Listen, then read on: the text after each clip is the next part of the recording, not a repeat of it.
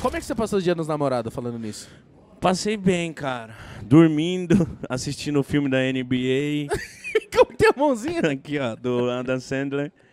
E foi legal. E você, passou com a família? Passei com a família. O almoço, almocei lá com a minha mãe, foi muito bom. E depois? E depois fui dormir em casa. Ah. Tomei um vinho, assisti o filme do, do Adam Sandler. É bom, Oh, né? Sabe, eu queria falar com você que agora eu tô com um novo vício. Pra até melhorar meu inglês também, que eu acho que é uma das coisas que a gente mais precisa É, cara. quanto antes.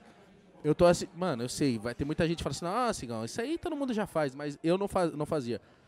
Todo filme que é gringo, e a maioria deles que a gente assiste, eu tô vendo legendado. É importante. Parei, mano. Parei de ver dublado. Só quando é animação, que é animação, aí eu. A é animação é melhor dublado. Também acho.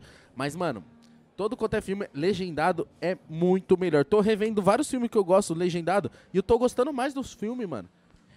Parece que você sente- é, você fica mais dentro do filme, assim. Que você vê a boca do, do ator saindo a voz original. Eu acho que, tipo assim, agrega mais pro filme porque você vê realmente a entrega do, do, ator, ator. tá ligado?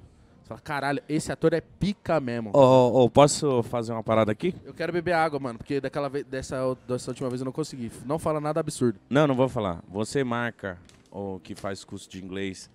Entra com a gente com Pode Par. Não, não falei nem pra nós anunci- Não falei pra ninguém. Tá falando agora. Vem agora na minha cabeça. Cara, a gente criar um desafio.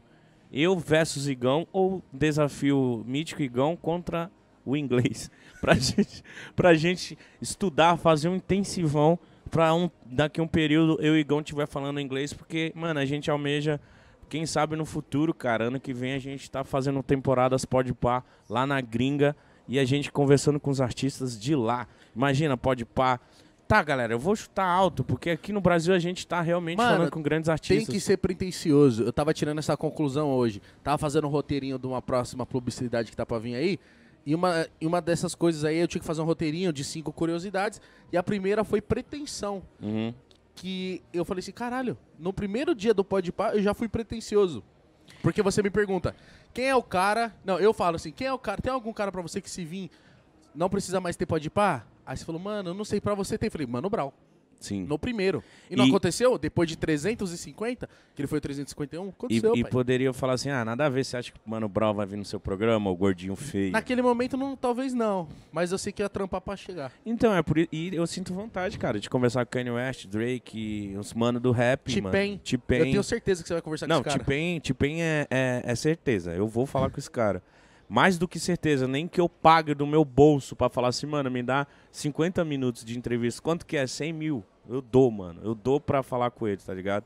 Então, tipo assim, além ou do meu bolso ou marcas que vão vir, né? Sim. Então, tipo assim, eu acho que vai ser super importante eu, ingle- eu, eu e Igão a manjar falar inglês, porque eu penso, cara, ano que vem a gente fazer uma temporada lá fora, conversar com grandes artistas lá fora.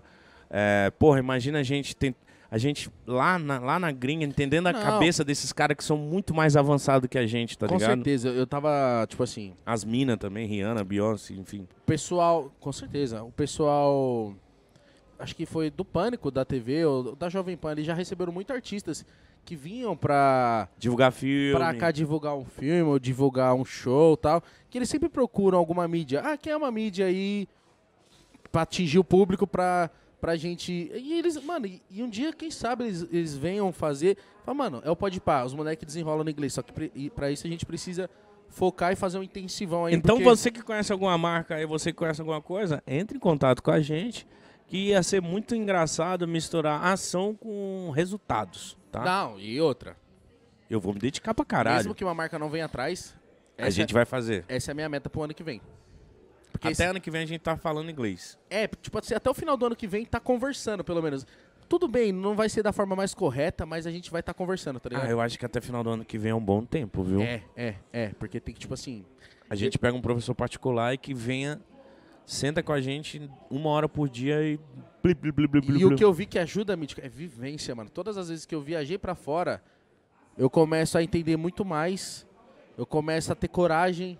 E, tipo assim, isso que toda vez que eu vou pra fora, eu passo quatro dias, uma semana. Tá ligado? Ficar um mês lá. Então, imagina, tipo um intercâmbiozinho. Putz, eu acho que a gente pega fácil. E aí também, mano, vamos desenrolar. Mas o que eu tava, tava pensando esse ano assim, mano, esse ano nosso foi muito louco, né, mano? Tipo assim, desde o começo do ano a gente vem fazendo coisas muito foda. Tipo assim, ó, começo do ano a gente começou com o Pode Pá de Verão. Que foi, pra mim foi uma das paradas mais foda que a gente já fez até hoje. F- Foi muito foda e, tipo assim, a, a, a galera começou. Não tô falando que copiar, viu? Mas até, tipo, pensar pro próprio projeto deles, assim, tipo, começaram a fazer também. Sim. De, tipo assim, falar, ai, é possível então eu ir pra um lugar e falar com os artistas de lá, É. as pessoas de lá, então a gente fez isso, ab abriu uma porteira do caralho. Aí depois eu não lembro mais o que a gente fez, mas a gente fez carnaval. Aí a Foi gente. muito Foi foda. muito, muito incrível. A, a gente fez Paulistão, obrigado, Gabriel. O que mais que a gente fez? Copa do Brasil, a gente estava lá, final da Copa do Brasil. Foi muito foda. Foi do mano. caralho lá no, no estádio do, do Atlético Libertadores foi ano Paranaense. passado, né? Libertadores foi ano passado. Vai ter a final esse ano ainda. Que é mais pro final do ano. Mas a gente já tá fazendo NBA, certo? A gente vai fazer Rock in Rio.